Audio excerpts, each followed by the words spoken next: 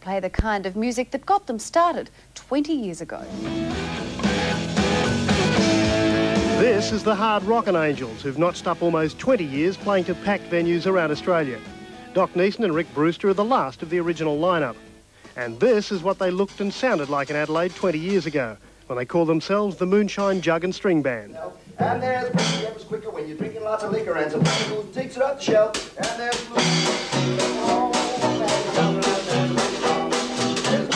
Rick's brother John is still in the industry, producing songs for others, and Spencer Treglow now teaches music to Adelaide High School kids.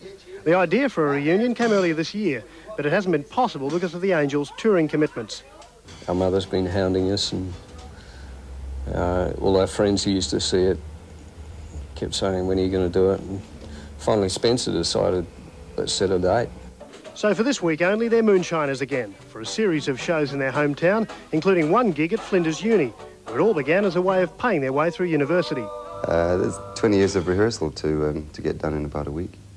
But it's great. It's, the music's really jumpy, the vibe's great, and um, I think anybody that comes along is going to have a great time.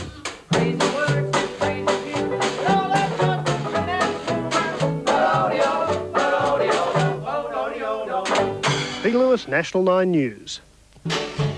It is infectious. If you get, uh, that's what we did. We, we got regular shows, you know, every Tuesday night at the Mod Berea, whatever, and the crowds just build and build. And then we Uh, formed an electric band and the crowds just dropped and dropped. They'll be busking in the mall tomorrow at lunchtime, and they've booked a few other groovy gigs for later in the week. Jeff Dunn, 7 Nightly News.